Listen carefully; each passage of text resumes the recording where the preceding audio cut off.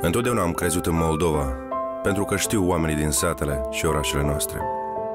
E timpul să nu mai împărțim țara în stânga și dreapta, în putere și opoziție.